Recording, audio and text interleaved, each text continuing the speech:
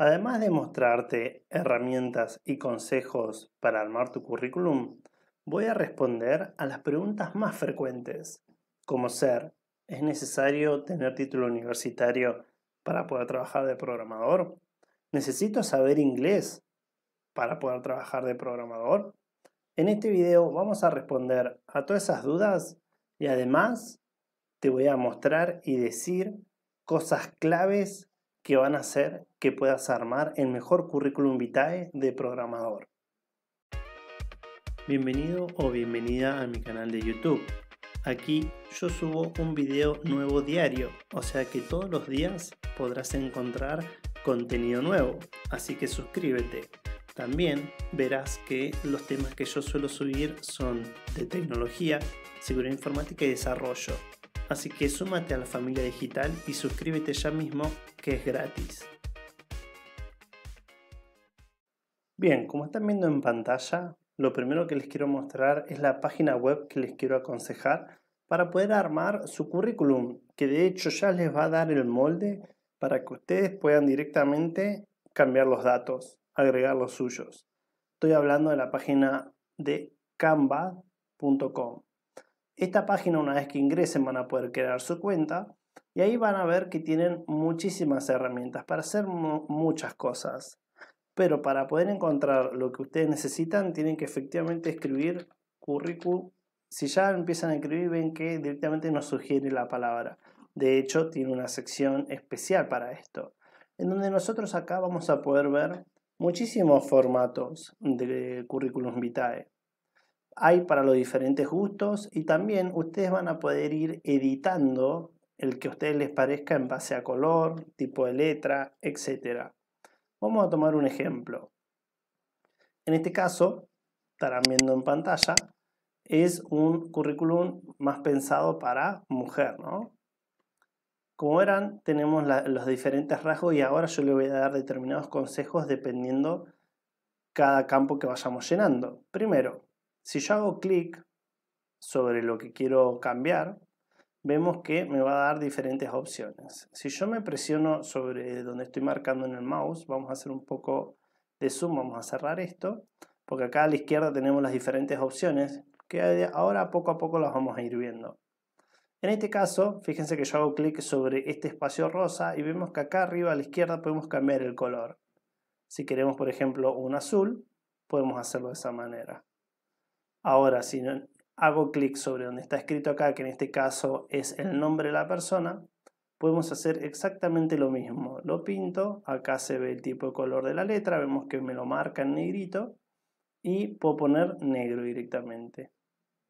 O azul si se quiere el color que ustedes gusten. Bien, primero en principal, una pregunta que también suele ser frecuente. ¿Es necesario poner una foto nuestra en el currículum? Acá hay diferentes variables y es muy interesante. Primero, desde mi perspectiva, siendo que yo vivo en Argentina, les podría decir que sí, es útil e importante tener una foto nuestra y acá ojo con este punto, no un, tipo de foto formato selfie, no un tipo de foto abrazado con amigos, no un tipo de foto tomando algo en un bar. fíjense de hecho un muy buen ejemplo de esto. Esto es una foto de casi cuerpo completo hasta la cintura. Yo por ejemplo mi foto llega hasta un poco más abajo de los hombros, una pared blanca si se quiere, y si se quiere también con ropa casual, no es necesario que salgan con un traje y corbata. Pero eviten la foto de, de selfie o una foto poco profesional, llámese. Hay que contextualizar y darnos cuenta que estamos posturándonos para un puesto de trabajo. No es cualquier cosa. Eso como primera instancia en relación a la foto. Otro punto muy importante, bueno, en este caso está en inglés en la información. Es fácilmente traducible si ustedes no saben inglés. Pueden usar el translate de Google si no saben qué significa cada parte. De todas maneras, ahora un poquito lo vamos a ver por arriba. Pero acá viene otro punto muy importante. Ojo con la ortografía. Recuerden que nos estamos postulando a un, un puesto de trabajo. Pueden utilizar muchas herramientas para el tema de la ortografía. Además de Word, que muchas veces Word también no corrige todas las ortografías, pueden compartir su currículum con algún conocido amigo que sepan que saben mucho de ortografía y así les hace una revisión. Es importante ese punto porque el tema de la ortografía puede hablar más, hablar más de ustedes que de lo que ustedes creen. Bien, como verán entonces, es algo muy sencillo, en una hoja se resume bastante. Podemos ir haciendo, podemos hacer una pantalla total si hacemos desde acá abajo a la izquierda. Podemos ver que tenemos diferentes tipos de zoom, si quiero algo más intermedio. Y en este caso yo voy a ir un poco más al 100%, así es más, un poco más mejor, para que ustedes lo vean con mayor claridad. Bien, hablamos de la foto, en este caso personal profile, o sea, el perfil de ustedes, donde acá también les puedo dar otro consejo importante. Hay que romper con un patrón, algo que es muy común hoy en día colocar, que es el ser proactivo, trabajo en equipo. Lo pueden agregar, pero intenten colocar un poco más que eso, porque hoy en día son palabras que todo el mundo conoce y que es muy frecuente encontrar en los currículum y para los recruiters, para las personas que seleccionan el personal, los reclutadores, eh, ya no, no les sorprende, ¿me explico? También está bueno un poco innovar siempre en un perfil de seriedad, ¿no?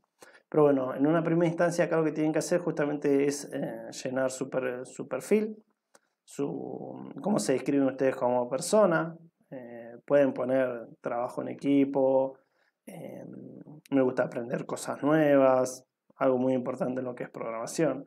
En este caso va mm, la especialización, pueden poner, si recién están empezando, y acá vamos a responder otra de las preguntas muy frecuentes, ¿Qué hago si no tengo experiencia?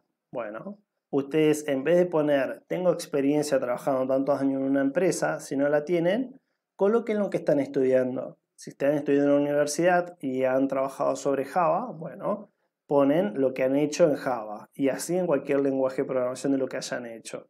Me adelanto, y es importante que sepan, más cuando estamos hablando en cuestiones de programación, es fundamental que tengan proyectos hechos que lo voy a volver a sacar a este punto cuando hablemos de la, si es importante tener un título universitario como programador. Lo, voy a hablar en mayor profundidad cuando más adelante en el video respondamos a esa pregunta. Pero lo que pueden poner justamente cuando no tienen experiencia es en los proyectos que hayan hecho, en los lenguajes que están trabajando. No es necesario, no es, no es clave tampoco tener años de experiencia en un determinado lenguaje hay que respetar también cuando obviamente en una búsqueda laboral lo piden, bueno, en ese caso, pueden postularse y siempre ser sinceros, la honestidad ante todo, en cuestión de currículum vitae. Pero bueno, en esta sección justamente va lo que es la especialización. Lo fundamental, obviamente, fíjense que es concreto, va a la información de contacto para que el personal se, contacte con ustedes y las skills y habilidades. En este caso pueden poner HTML, CSS, JavaScript, los lenguajes. Y acá en la especialización deberían poner si es frontend, backend, eh, frameworks, si se quiere. Luego, acá ya va un poco lo de la experiencia laboral, ¿no? En este caso, si no tienen experiencia laboral, vuelvo a repetir el consejo que les decía recién, pueden especificar que han hecho determinados proyectos, cuánto tiempo han demorado, si está puesto en internet la, URL para que el recruiter pueda acceder. Y el, historial académico, que en este caso puede ser algo hecho en la universidad o títulos, cursos, certificaciones que tengan hechas a través de internet. De esa manera ustedes pueden eh, crear su currículum con esta herramienta que ya les da el formato y un punto muy importante, acá dice, fíjense, publicar, es muy importante al momento de darle descargar que elijan PDF. Fíjense que de hecho ya hasta lo, em, lo sugiere como formato. No lo, eh, no lo exporten en imagen, exportenlo en PDF. Los currículums se entregan en PDF, por favor. Ahora vamos a pasar a otro punto importante que es justamente responder a ciertas preguntas que son sumamente frecuentes. Primero, ¿Necesito un título universitario para trabajar como programador? Y esto que yo les voy a responder no es solo mi experiencia laboral de, dentro de estos 15 años que yo tengo trabajando en tecnología. Es lo que dicen, yo tengo muchísimos conocidos amigos que son reclutadores, son personas que se dedican a la selección de personal de, de perfiles de programador. No es necesario tener un título universitario para trabajar como programador. No es un requisito indispensable. Obviamente, si en la búsqueda especifica que necesitan un título universitario, obviamente para ese caso sí. Yo por lo menos lo que he visto en la mayoría de las búsquedas laborales no piden título universitario. Piden que seas full stack o piden que estés especializado o en su consecuencia años de experiencia, pero un título universitario no es un requisito indispensable. En algunos casos lo pueden llegar a pedir una cuestión de eh, compromiso legal, por así decirlo. Se incitan que firmen o den un respaldo a una documentación de software, un respaldo legal, por así decirlo. Pero para el hecho del trabajo como programador no se necesita un título universitario. Eso es algo muy importante que tienen que tener en cuenta y no dejen de enviar currículum vitae e intentar postularse por creer que porque no tienen un título o experiencia no pueden postularse. Más vale, es más importante que tengan un portfolio, o sea, un portafolio, un proyectos hechos, subidos a GitHub, porque ya ni siquiera necesitan pagar un hosting para alojar una página web o una aplicación. Lo pueden subir a GitHub y de ahí compartirlo. No teman en hacer pueden realizar los típicos frecuentes trabajos como de universidad que los hacen hacer una calculadora. Todo suma, no sean tímidos, agreguen lo que ustedes han sido capaces de hacer. Créanme que los reclutadores lo valoran mucho. Así también existe la instancia de la evaluación técnica, donde ustedes les toman una evaluación. Y ahí van a saber justamente lo que realmente saben, porque a la empresa lo que le importa es que sepan resolver. El trabajo de un programador es resolver problemas, es poder crear una aplicación.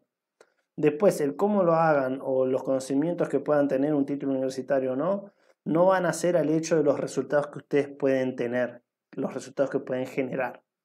Así que en ese sentido no se limiten ustedes mismos. Y otra pregunta muy frecuente es, ¿necesito saber inglés para trabajar de programador? La respuesta es no. ¿Y por qué? Les voy a marcar acá una diferencia. En las búsquedas laborales que se piden como requisito indispensable saber inglés oral, o sea, verbal, es porque es muy, es muy probable, de hecho seguro, tengan que tener contacto con los clientes que hablan inglés. Entonces, en esos casos, obviamente se pide porque es un requisito, ya que además de programar, van a tener que estar en contacto con los clientes, no solo van a programar por cuestiones de caso de uso o requerimientos, la razón que sea. Pero en, muchos, muchas búsquedas laborales buscan programador y no necesitan saber inglés.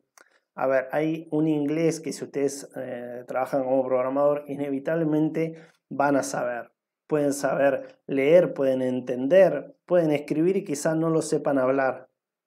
Y aún así ninguna de estas opciones es un requisito indispensable. Si ustedes tienen la capacidad de aprender y resolver y programar, no importa si saben inglés. En las búsquedas que lo piden es porque muy probablemente tengan que tener un contacto con algún cliente que hable inglés. Esa es la razón por la cual en, algunos, algunas búsquedas lo solemos ver. Bueno amigos, espero que les haya gustado el video, lo compartan, denle like, comenten si tienen alguna duda, pregunta y sobre todo suscríbanse y súmanse a la familia digital. Les dejo un abrazo digital.